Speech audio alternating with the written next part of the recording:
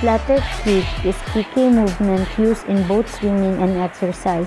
Nonetheless, the flutter kick is commonly used in different strokes like freestyle or backstroke.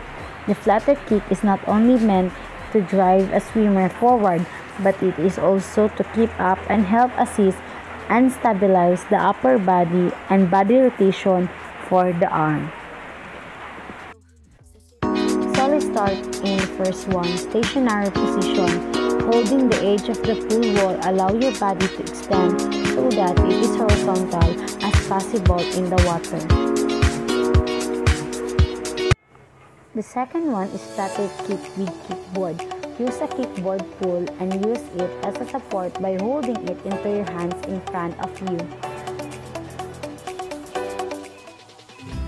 And for the last one is flutter kick without any water equipment.